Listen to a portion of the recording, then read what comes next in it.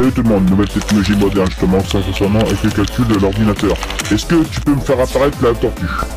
Bonjour monsieur le retenu de mon programme. Justement, vous voulez agrandir justement la tortue? Vous avez sélectionné l'interrupteur. Il va grandir la tortue.